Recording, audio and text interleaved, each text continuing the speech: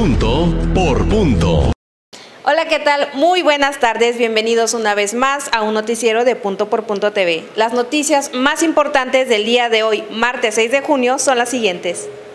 Un amanecer de pesadilla en la autopista México-Acapulco. Dos ataques. El primero fue el asalto a un chofer de camión y el segundo un intento de atraco a un operador de una camioneta, que huyó pero le dispararon a él y su acompañante. Llegaron hasta una gasolinera de La Varona donde los auxilió la Guardia Nacional. Punto por punto. A un año del accidente en el Paseo Ribereño, habla el secretario de Obras de Cuernavaca sobre trabajos de rehabilitación. Maneras de análisis desde los elementos soldaduras hasta uniones para revisar las cargas para cargas vivas. El puente debe de cargar el puente, debe cargar a todas las personas, debe de cargar a todas las personas moviéndose, debe cargar a todas las personas moviéndose y con sismo y debe de aguantar.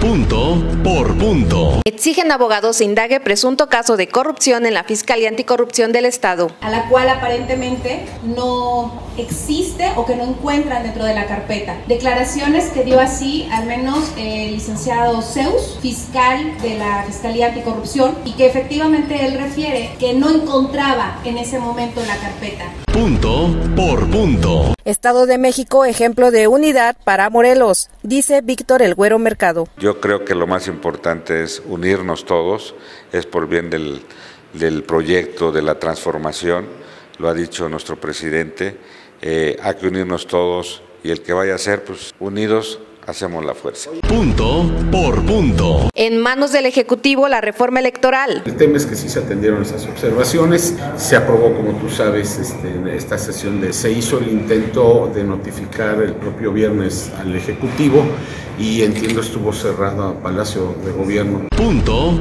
por punto. INPEPAC está listo para actuar si no se publica el nuevo código electoral.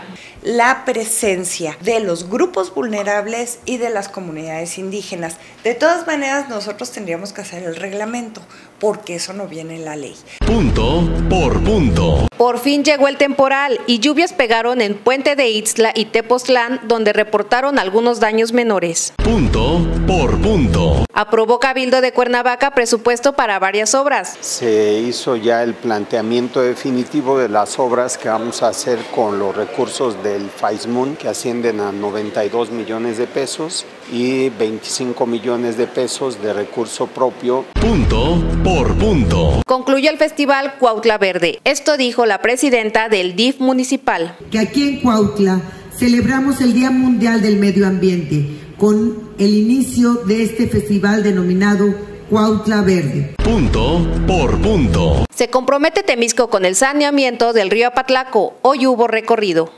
Es muy grande, es sanear el, río Apatlaco, pero también el municipio de Temisco. Crear una cultura diferente para que nuestros niños, nuestros jóvenes también se, se ocupen, ¿no? Esto ha sido todo por el día de hoy. Ahora sí ya estás bien informado y no olvides seguirnos en nuestras redes sociales para no perderte en ningún momento de la información precisa y al momento.